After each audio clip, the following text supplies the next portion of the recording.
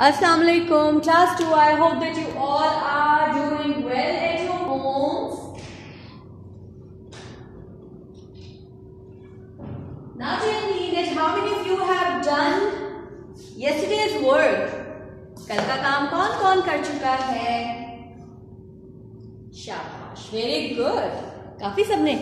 अच्छा एक चीज़ जो मैं आपको बताऊँ जो इम्पोर्टेंट है for you to know that I give a due date her teacher देती हैं ड्यू डेट ड्यू डेट का मतलब है उस डेट तक काम सबमिट हो जाए ठीक है उसके बाद जब आप सबमिट कराएँगे तो वो लेट हो जाते ना जब हम वक्त पे कोई काम नहीं करते फिर हम लेट हो जाते हैं है ना तो वो आपको भी नोटिफिकेशन में लेट सबमिशन आ रहा होता है या मिसिंग आ रहा होता है तो ड्यू डेट तक अपना काम कंप्लीट भिजवा दिया करें, ताकि उसकी चेकिंग हम कर लें। ठीक है? अभी I am in the process of checking इनशाला आपको जल्द सारा काम चेकड मिल जाएगा। ठीक है? Okay coming back to the lesson unit number one a family wedding and new house and date is thirteen of April two thousand and twenty one and the day is Tuesday Okay. In this unit, as I have revised in all of the lessons that what we are, what have uh, we done in this uh, unit, we have first of all came to know about the relationships of our family. Grandfather, grandmother, mother, father, uncle, aunt, sister, brother and cousins ऐसे ही है, हमने family tree बनाई थी ना? Family tree में grandfather grandmother then father mother then son, daughter, है ना? ऐसे था। उसके बाद brother and sister and then cousins cousins cousins भी बड़े अच्छे रिलेशन है ना? कजन्स के साथ हम खेलते हैं एंजॉय करते हैं शरारतें करते हैं। बचपन को खूब इंजॉय करें अच्छे अच्छे काम करें, ज़्यादा शरारतें मत करें, अपने कजन्स के साथ मिलके कि मामा मामा बाबा डिस्टर्ब ना हो, ठीक है? आपकी प्रायोरिटी मामा बाबा का कंफर्ट लेवल होना चाहिए। ये बात अपनी जहन में रखनी है आपने। हमेशा कि वो काम नहीं करना जो पेरेंट्स को डिस्टर्ब करे, ठीक है? Okay then we had read about the map of Pakistan and we had written the names of the provinces of Pakistan also along with their capital cities.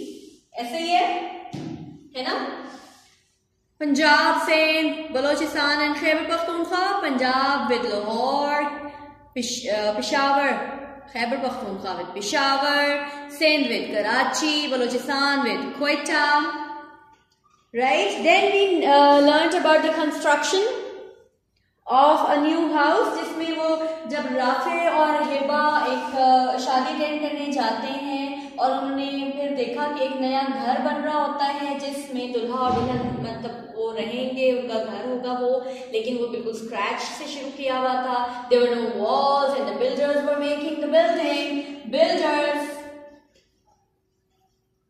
was a mixer and digger digger. ठीक है? Mixer का क्या मतलब था? To mix the one who mixes one who mixes digger कौन?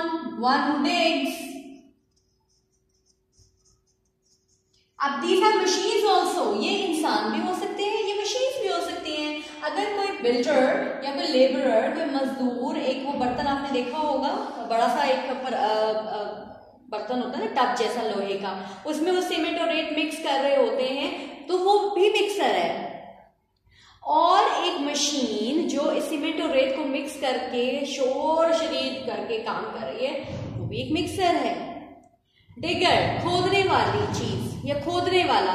खोदना तो labour भी करते हैं, मजदूर भी खुदाई करते हैं, ठीक है? वो भी डिगर है। जो मशीन खुदाई करती है और डीप डिगिंग करती है, उसको भी हम डिगर कहते हैं, ठीक है? तो ये मशीन भी हो सकती है, इंसान भी हो सकते हैं जो ये काम करते हैं। Is it clear good now I want you people to please open up your notebooks and we will be doing uh, copy work. We'll be doing question answers related to this unit.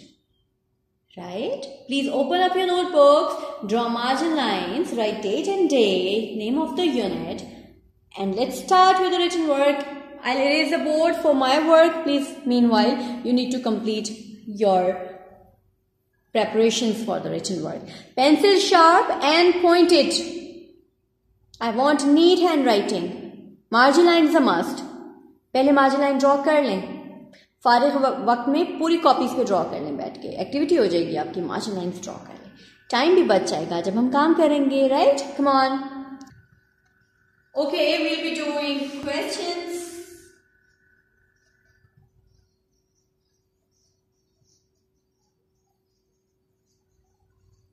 answers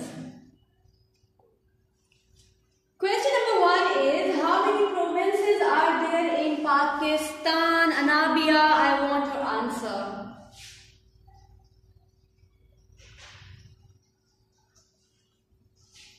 How many provinces are there in Pakistan? Pakistan में कितने provinces हैं?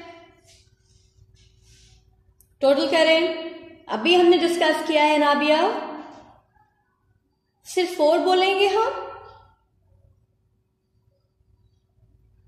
इब्राहिम, सिर्फ़ four बोलेंगे हम answer में? नहीं बेटे, हम सिर्फ़ फोर नहीं बोलेंगे आंसर में, हम पूरा सेंटेंस बोलेंगे। There are four provinces in Pakistan लिखेंगे भी पूरा सेंटेंस बोलेंगे भी पूरा सेंटेंस ओके लिखेंगे कैसे? Neatly there are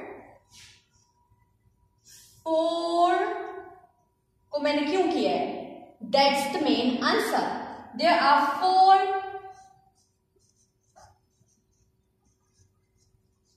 provinces in Pakistan. There are four provinces in Pakistan.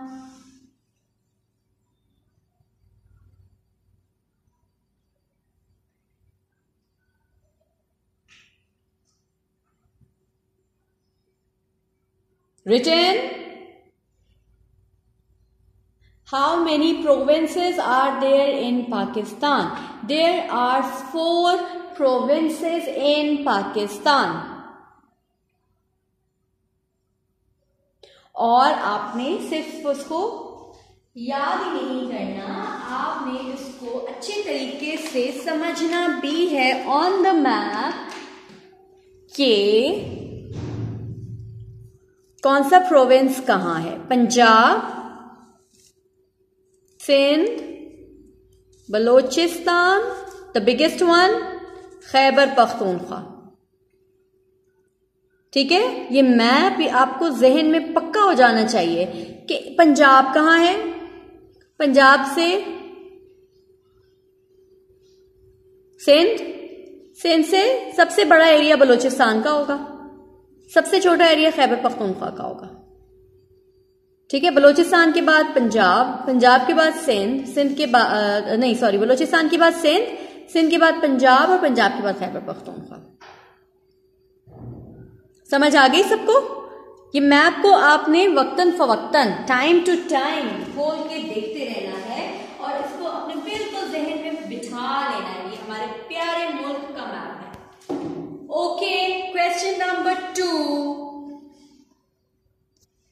फ़िलहाल I have erase the headings and all that stuff which was not required ताकि हमारे पास ज़्यादा जगह हो बोर्ड पे।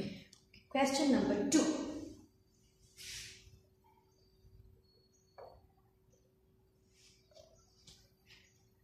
who is a builder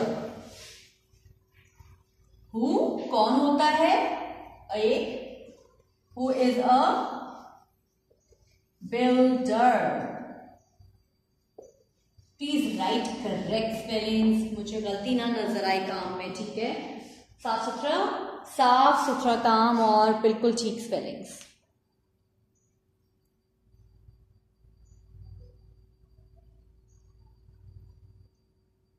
who is a builder builder कौन है? अब आप मुझे बताइए.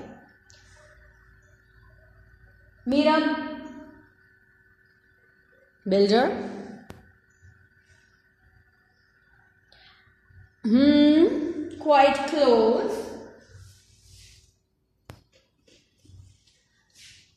Let's write. A builder.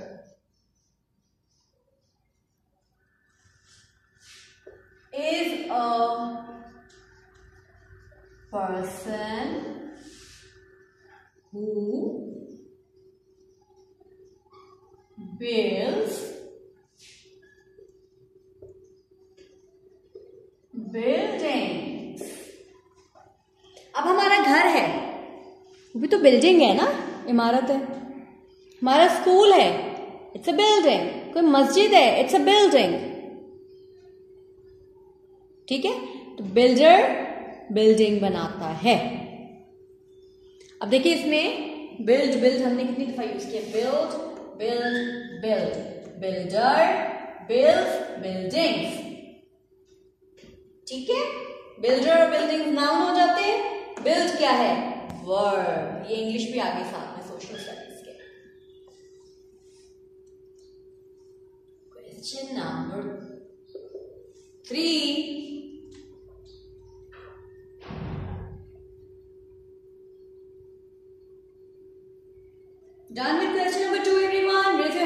है कम कम हाथ क्यों उठते हैं? हम्म?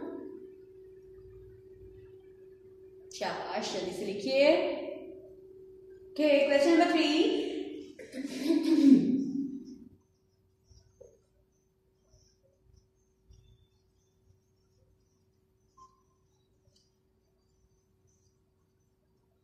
list five materials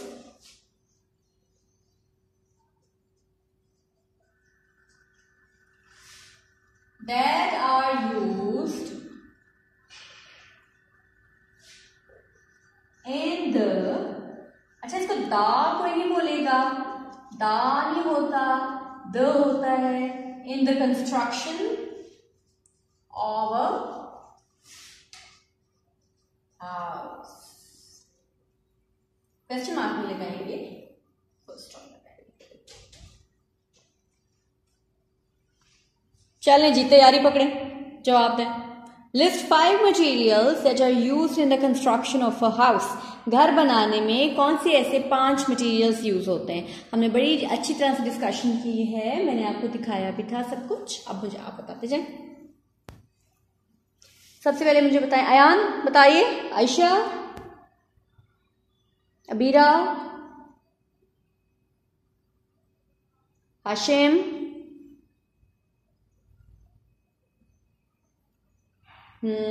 bricks and sand. Good. And cement. Very good. शाबाश, काफ़ी हद तक आपने बताए हैं, अब हम मजीद लिखते हैं लेकिन सबसे पहले the materials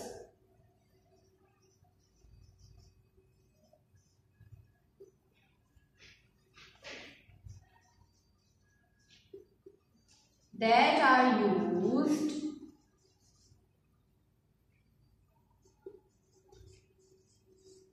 in the construction of a house are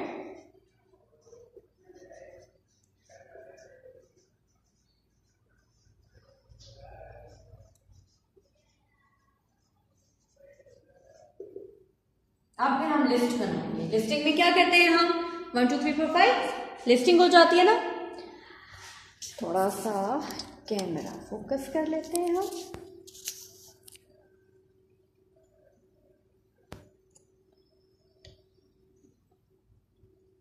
ऐसे, अब ठीक है? ठीक है। The materials that are use in the construction of a house are number one bricks number two अभी आपने बताया सीमेंट सीमेंट इसको बोलेंगे सीमेंट ठीक है? नंबर थ्री नंबर थ्री बोले? Sand exactly sand and iron अच्छा आपको अभी बुक में दिखाया है। मैं दिखा देती हूँ।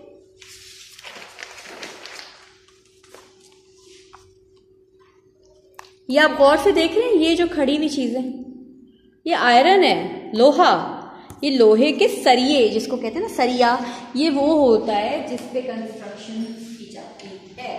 तो आयरन यूज़ करते हैं और हम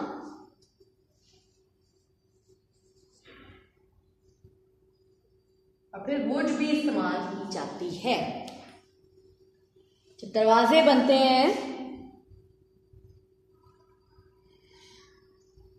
तो वुड का इस्तेमाल किया जाता है। ऐसा ही है? चलें, जी। Let's repeat I am reading it for you once again who is a builder a builder is a person who build buildings a builder is a person who build buildings List five materials that are used in the construction of a house. The materials that are used in the construction of a house are bricks, cement, sand, iron, wood.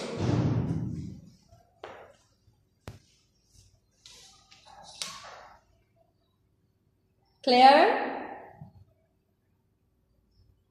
Written? अच्छा एक चीज़ जो हमने कल भी नहीं की थी और आज भी अभी तक नहीं की, अब हम करते हैं। अब थोड़ा टाइम बच गया है हमारे पास। तो हम क्या कर रहे थे? आपको याद है हम क्या कर रहे थे? We were doing months of the year January February March तीन किए थे हमने? मार्च से आगे नहीं किया ना? आज हम मार्च से आगे करेंगे। I am going to erase the board now complete your work quickly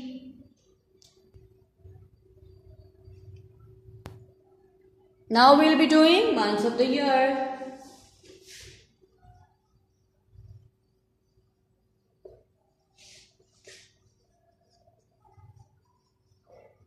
Year इसको ईयर नहीं बोलेंगे. ईयर तो ये होते हैं हमारे कान. सुनते हैं हम जिनसे. Year year okay first let's revise it's the first one was January Shabash. Second one, February. Third one, March. Shabash. ठीक हो गया जनवरी फेब्रुवरी मार्च इसके बाद हमारे पास fourth month is which month is going on these days April, April, April. Then after April it will be May, May. After April it's May. After May it's J, June.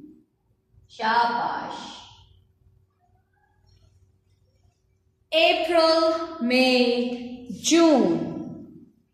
Now we done with half of the year छह महीने हमने कर लिए हैं।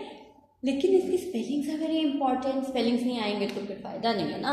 लिखने का फ़ायदा है ही नहीं जब तक स्पेलिंग्स ना आए हैं January February March April, April, April, May, May, June, June,